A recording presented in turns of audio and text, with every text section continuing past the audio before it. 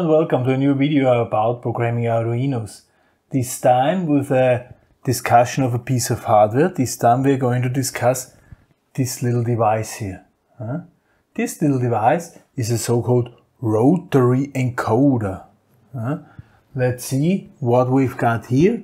We have got here a turning knob, so we can turn it, and we can turn it infinite. So we can turn it unlimited numbers to the left, counterclockwise, or unlimited number to the right, clockwise. Okay. We also have, we can push it, so we have some sort of button. Yeah? And we have some connections. Here's G and D, ground, okay, this is clear for us. Then we have plus, we have SW, this means switch, yeah, so this is the, the button here. Uh, then we have DT and CLK. Hmm. What is this?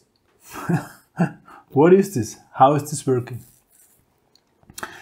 I will try to explain it to you on a sheet of paper.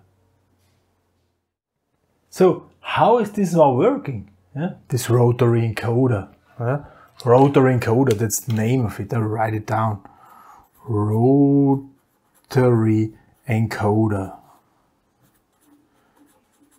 It is a typical example of incremental measurement. Yeah, there are videos describing incremental and absolute measurement. This is typical incremental measurement. So we have seen there is some sort of shaft. Okay, so here is the shaft.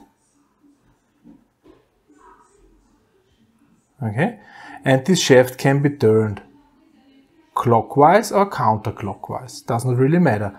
Mounted at the shaft, there is a tooth disc. Okay, ooh, this is really not looking that nice. Does not matter for the explanation. In reality, we should have more of these teeth at this tooth disc. Okay, so this tooth disc is connected here huh, to plus 5 volt. This is how you can think about it. Plus 5 volt. Then we do have two other connections. There's one connection connected here. This is called A. And then there is another connection connected slightly at a different position. This is B. If we are in that position, right? Both display 5 volts. Huh? So, let's see. I make here two charts.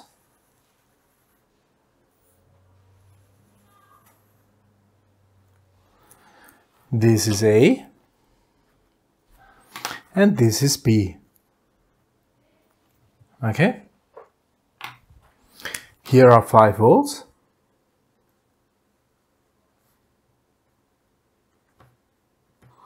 Five volts.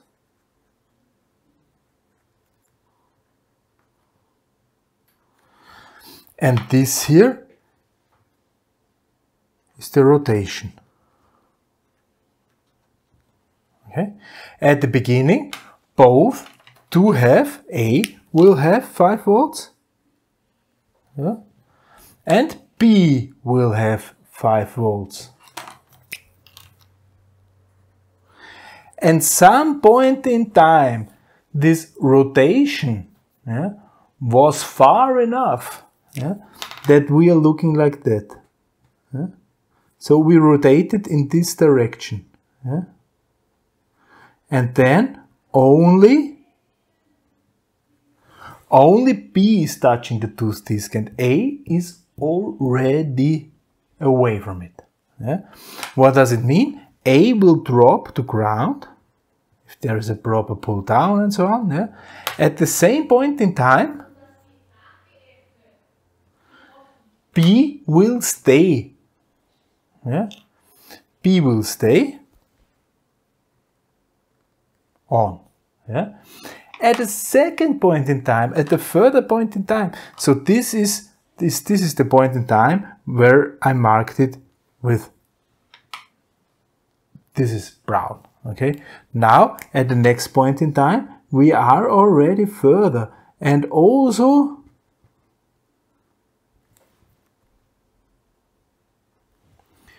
B is no longer touching. So B will disappear as well. If I find now the correct color. Hmm. So this is at this pink. Yeah? This is ground. Yeah? Here the next tooth is already appearing. Okay? If we turn it a little bit further, A is the first one to touch. Yeah? So here A will then again switch to 5 volts. B will stay down.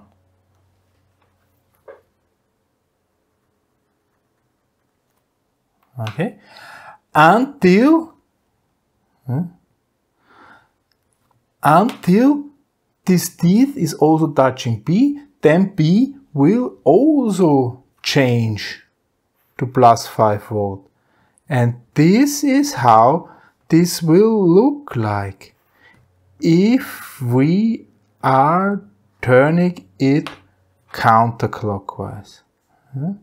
We have an offset of the two changes which are appearing, always an offset here, which are appearing because of the mechanical offset here, right? What does it help us? Yeah? What does it help us? Well, if we are looking at an input, if we're turning it the other way around, by the way, if we're turning it the other way around, then always will change first. So it is like we're going in this direction clockwise or we're going in this direction counterclockwise. All right. So if I'm looking now, for instance, at A, input A, if this is changing, I'm looking down. I see, aha, B is different than A. Then I know this change was in this direction. Okay? If we would change here in this direction and A is changing to 1 and B is the same, then we're turning counterclockwise. Checked? Yeah? If we just look at the change of, uh, of A from 0 to 1, let's say. Yeah, we're changing from 0 to 1. If this 0 to 1 is happening and B is 0, yeah, then we must have moved in this direction. If this 0 to 1 is happening and B is 1, yeah, then we must have moved in this direction. With these two signals and this logic, I can determine whether I turn it clockwise or counterclockwise. Okay? And if I am counting the ticks, how many impulses I have received, I know exactly how far I was turning. So I, I know I know if I'm turning it up, I know if I'm turning it down, yeah? and I know how much. This is measurement. This is angular measurement. And this is a typical example of, of uh, ah, searching for the word now. Not absolute measurement, but incremental. That's the word. Sorry. Incremental measurement. Yeah? Because incremental measurement means we know exactly how far we have gone and in which direction, but we don't know where we have started. So there is no zero point or something like this. Yeah? If we turn this thing on, it is something. Yeah? And then we know how far we go left or right. But we don't know where we have started. Yeah? Most applications, or a lot of applications, does not really matter. So this is how a rotary encoder is working. Huh? Now let's see if we can see if it is really doing it that way by using some LEDs. Uh, I will prepare circuit for this uh, and show you. Okay, so this is how it should work. Yeah? CLK should be the first one, DT should be the last one. Let's see if we can see if this is really doing that way. I've prepared here a little something for you. See, I've just, I'm just using a power supply. Yeah? I'm using two LEDs, a green and a white one, and I will plug the rotary encoder. Yeah? I will use plus and minus. Plus is orange, minus a ground is is is uh, blue. All right, and then I will connect CLK, CLK, and DT. So CLK is now the green one, DT is the white one. All right. So let's plug this in.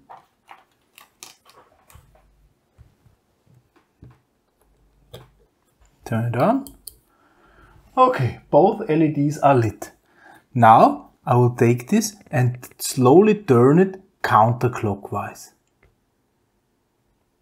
Ah, the first one, which is disappearing, is CLK. And then the other one is disappearing. Going further, oh, this was already pretty fast. Yeah? Try it once again. CLK is gone. This is gone. Huh? You have seen that there are uh, mechanical positions there. Yeah? So it is not that easy to turn it that slowly. I will try it once again, counterclockwise.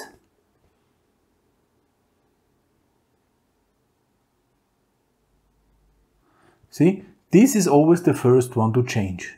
Yeah? Now in the other direction. Uh, now it's the other one. See? This is now clockwise.